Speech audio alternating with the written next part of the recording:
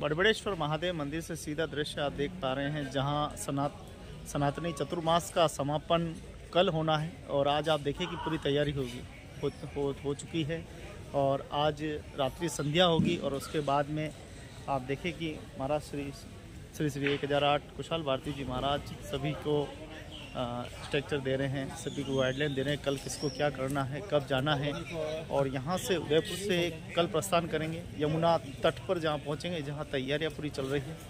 तो आप देख पा रहे हैं कि महाराज श्री सामने विराजे हैं। एक बार तो है जीपी लगाओ हिमांशु भैया।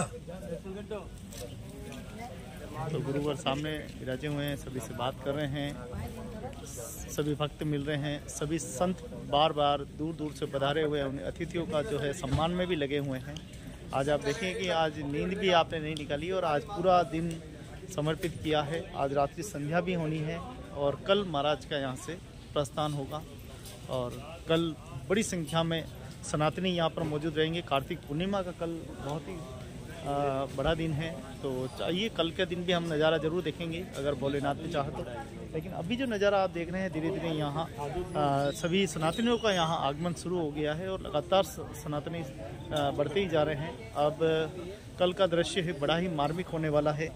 गुरु महाराज के यहाँ पर पूरे पाँच महीने देखते देखते बीत गए। जब वो पधारे थे, तब भी बरसात हो रही थी और आज भी बरसात हुई है। पूरी, आप देखें कि शहर की सड़कें चरण दलियों से धुल गई है। और अभी भी धुला हुआ नज़र आप देखें जय हो। ओम नमो। नारायण आ जाओ इधर। जय हो।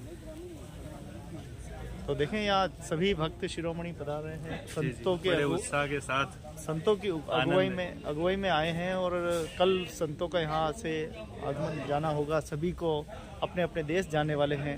यहाँ देश और विदेश से भी संत आए हैं। वो भी अपने अपने देश जो है वो जाने वाले हैं। और उसी का एक खुशी का पर्व भी कल है और दुख का पर्व ये है कि पाँच महीने पूरे सभी सनातनियों ने सभी संतों ने यहाँ बिताए हैं। ये क्षण तो हमारे लौट के नहीं आया लेकिन मंदिर प्रशासन से भी निवेदन है कि वो ऐसी व्यवस्था ही यहाँ पर करे यहाँ पर धर्मशालाएँ वगैरह यहाँ ऐसी निर्माण करे ताकि यहाँ लोगों के आने वाला टूरिस्ट पॉइंट पॉइंट की तरह क्योंकि धार्मिक स्थल से बहुत बड़ा स्थान है ये। तो इसका ध्यान में रखते हुए सभी को यहाँ पर सारी व्यवस्थाएँ करें ताकि चाहे बरसात हो चाहे गर्मी हो चाहे सर्दी हो तो लोगों को पूरी सुविधाएँ यहाँ पर मिले ऐसी हम आशा है। और देखें धीरे धीरे यहाँ पर सभी निर्माण कार्य चालू है। हाँ चाहते हैं कि जिस प्रकार से ये पाँच महीने बीते हैं इसी प्रकार से रहे सेल पेल रहे दुकानें रहे ताकि लोगों को यहाँ कष्ट न हो छोटे मोटे ठहरने की व्यवस्था भी यहाँ पर रहे ऐसी आशा है।